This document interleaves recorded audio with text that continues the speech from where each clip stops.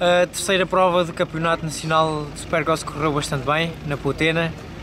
A primeira final ganhei a classe SX2, fiz terceiro na classe Elite. A segunda manga foi igual. Saio daqui eh, com, com pontos bastante importantes para os campeonatos.